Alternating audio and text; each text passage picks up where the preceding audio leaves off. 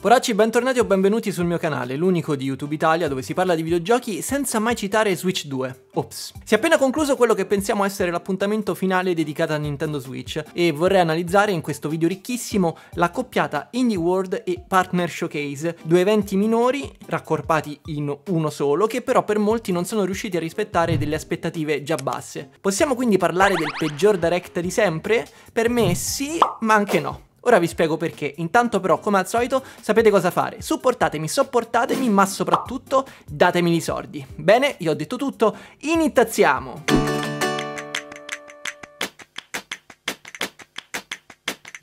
Parto col dire che secondo me qualche annuncio interessante c'è stato, ma l'evento mi ha dato proprio l'impressione di essere un tappabuchi, un fuori tutto pensato per togliersi gli ultimi invenduti dall'inventario per fare spazio alla nuova collezione in arrivo a breve. Sì, insomma, l'aver anticipato ad agosto due eventi del genere e averli riuniti in un'unica presentazione già è un bel indicatore di quanto Nintendo ci credesse poco nell'Indie World e nel Partner Showcase. Questo nome in particolare non dimentichiamoci che è nato associato ad alcune delle presentazioni più deludenti di sempre. Chi c'era nel 2020 si ricorderà benissimo dell'orrore associato ai partner direct. Quindi la forma non ha aiutato di sicuro a vendere bene il contenuto e aggiungo pure che forse c'è stata troppa, troppa roba in questi 40 minuti e tanti di questi annunci non erano di certo memorabili. Insomma, sebbene la durata complessiva sia stata poi alla fine quella di un Nintendo Direct a tutti gli effetti, il risultato finale è stato molto lontano in termini qualitativi rispetto a una presentazione a tutto tondo. Vi dico però secondo me quello che vale la pena tenere d'occhio partendo dall'Indie World e poi alla fine vi dirò anche qual è il mio giudizio finale. Non vi ho mai nascosto che Balatro è diventata la mia droga del 2024 e vedere annunciato il DLC gratuito ha fatto sì che l'Indie World iniziasse nel migliore dei modi. Aggiungeteci pure che si tratta di un crossover pazzo con alcune IP altrettanto importanti, Vampire Survivors rimane un orgoglio tutto italiano e per me si è trattato dell'apertura perfetta. Anche Neva si è mostrato in splendida forma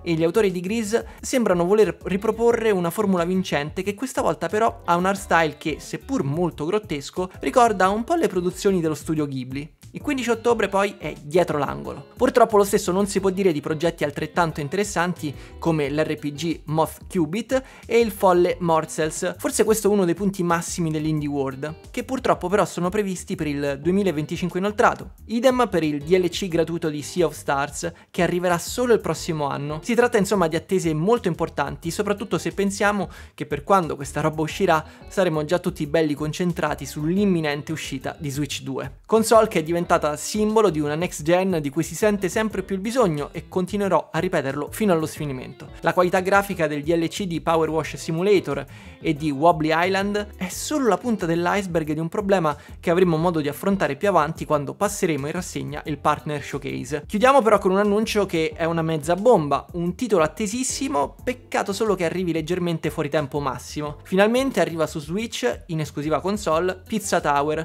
titolo finora disponibile solo su PC. Alla fine, sebbene non sia stato possibile coinvolgere qualche studio esterno in una collaborazione alla Cadence of Hyrule, questo seguito spirituale dei Wario Land è quanto di più simile a un titolo Nintendo avremmo potuto sperare facesse la sua comparsa in un evento del genere. Per me si tratta di una chiusura apprezzatissima, soprattutto perché è già disponibile. Per quanto riguarda il Partner Showcase, possiamo dividere in tre blocchi distinti questa presentazione. Abbiamo innanzitutto le collection, e qui sono state sparate delle bombette niente male, tra annunci nuovi di zecca e trailer che invece hanno svelato la data di uscita di titoli precedentemente annunciati. Tetris è un classico senza tempo e un concept geniale che funziona in qualsiasi declinazione. Questo Tetris Forever sembra un bundle perfetto per riscoprire le origini, anche quelle meno conosciute, di un fenomeno che tuttora è il puzzle game per eccellenza. Parlando di picchiaduro invece sono arrivati due missiloni paurosi. Capcom è scatenata e mentre abbiamo scoperto che la collection dei Marvel vs Capcom arriverà il 12 settembre con una versione fisica a seguire, mi sembra per novembre, non nascondo che mi sono proprio emozionato nello scoprire che a chiudere la Fighting Collection volume 2, prevista per il 2025,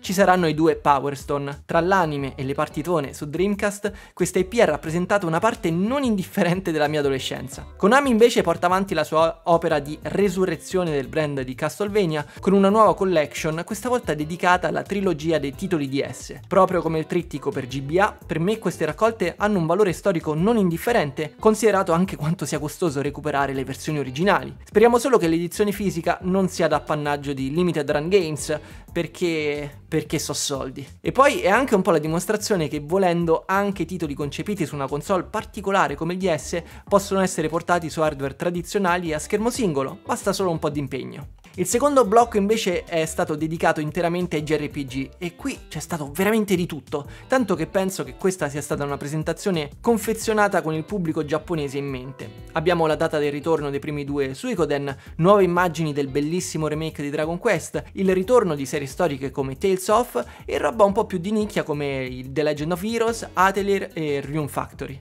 Il terzo blocco invece per me è quello veramente disastroso ed è rappresentato da quei porting o titoli multipiattaforma che sì, fa piacere vedere su Switch, ma che arrivati a questo punto difficilmente riuscirei a consigliare di giocarli sulla piattaforma ibrida. Nel corso degli anni ho sempre apprezzato e promosso i cosiddetti porting impossibili, quei giochi che nonostante tutti gli evidenti compromessi, era un po' una rivoluzione poterli giocare in portabilità.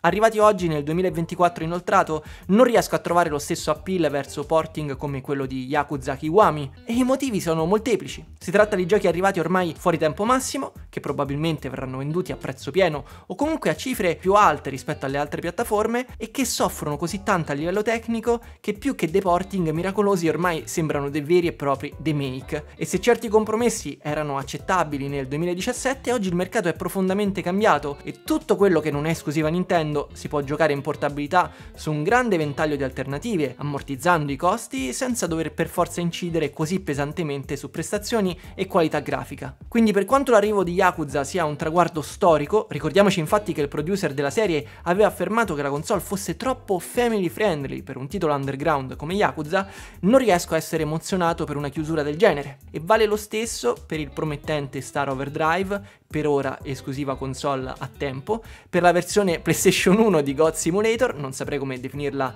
altrimenti, e anche per la collection degli Stalker o il bizzarro open world di SpongeBob con protagonista Patrick. Dando per scontato che la prossima console sia retrocompatibile, si tratta di tutte produzioni che spero girino in modo ottimizzato su una console in grado di essere al passo con i tempi. Comprarle ora su un hardware del 2017 per me è una forzatura. Per questo sono sempre più convinto che questo evento sia stato anticipato per fare spazio al reveal di Switch 2 che diventerà il focus principale della campagna marketing di Nintendo da fine settembre o inizio ottobre fino ai primi mesi del prossimo anno. C'è stata roba interessante, ma la stagione di Switch è finita e un doppio appuntamento del genere non fa che confermare questo scenario. Se decontestualizzati, questi due appuntamenti sono stati molto sottotono, ma prendete gli annunci interessanti, unitevi alla roadmap di titoli first party previsti da qui fino a dicembre e vi renderete conto che nonostante tutto Switch riuscirà a tirare avanti avanti più che dignitosamente ancora per un bel po'. Solo non aspettatevi più nulla di che da una console che il suo corso l'ha fatto e forse, ma questa è una mia opinione, non incazzatevi, sarebbe dovuta andare in pensione già qualche mese fa. E dai, ormai è palese, Silksong lo vedremo assieme al reveal di Switch 2. Non credete? E questo però è tutto per oggi, io vi ringrazio per essere arrivati fino in fondo, vi ringrazio per essere stati in così tanti in live, eravamo quasi in 900, un traguardo pazzesco per un evento minore, e vi aspetto qua sotto nei commenti per sapere cosa ne pensate delle due presentazioni del giorno. Non mi resta che darvi appuntamento al prossimo video che arriverà quando arriverà, voi nel frattempo mi raccomando fate i bravi, riposatevi dormendo sonni tranquilli, ma soprattutto nerdate duro. Io sono il Poro Switch, Michele 2, ciao! Ehi ehi ehi, fermo! Se questo tipo di video ti piace, prendi in considerazione l'idea di supportarmi sul Poreon, il Patreon dei Poracci. Con un piccolo contributo mensile mi puoi aiutare enormemente nella creazione di video qua sul canale e in più ricevi in cambio delle ricompense di tutto rispetto, come retroscena, anteprime e anche live esclusive dove andremo insieme a caccia di retro game. Ti lascio il link in descrizione e ricordati che Poracci si diventa